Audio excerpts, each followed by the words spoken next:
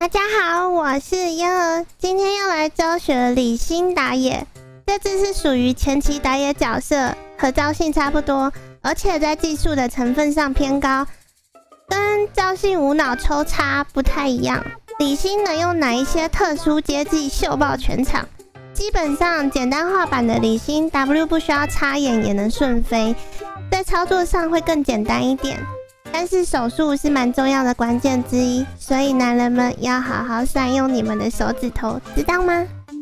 接下来是示范一下李欣比较常用的接技，第一种 R 闪。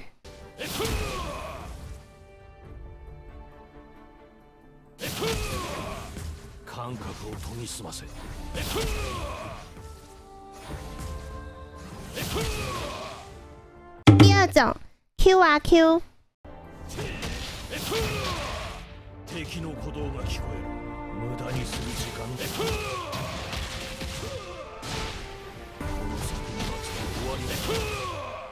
なんで第三種 QWRQ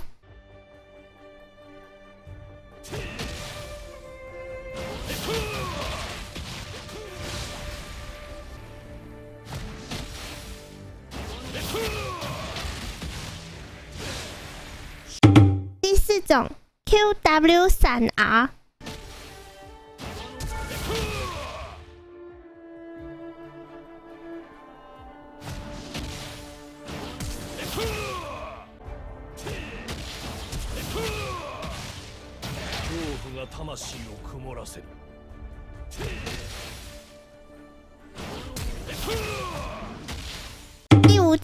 W R Q Q。看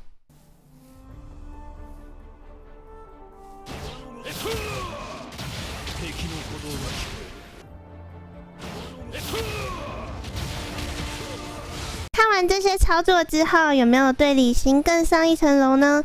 再来就是我常带的符文跟装备。符文带征服者，是因为这一版的角色通常都会跟你硬干，例如赵信、欧拉夫或者菲艾。而且李欣的 Q 跟 E 也能增加层数。征服者可以有效提高李欣的伤害，从而赢取一 v 一或者是小型会战。如果是希望打一波爆发就绕跑的话，选择电刑也是可以的哦。然后策划者这边可以跟跑速互换，策划者比较偏向拿地图物件，跑速就比较适合 gank 人和支援队友，就看大家的游戏打法决定了。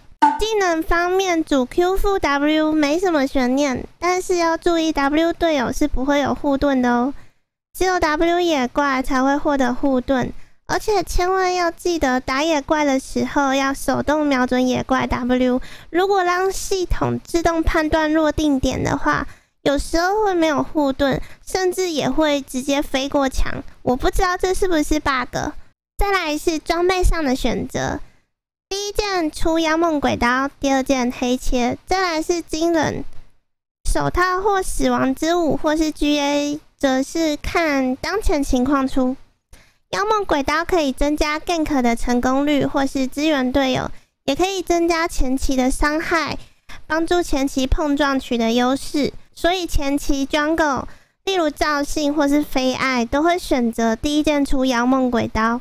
然后重击的话，都是选择蓝重，因为在手机版上的红重并没有减伤的效果，只有类似红 buff 的灼烧伤害。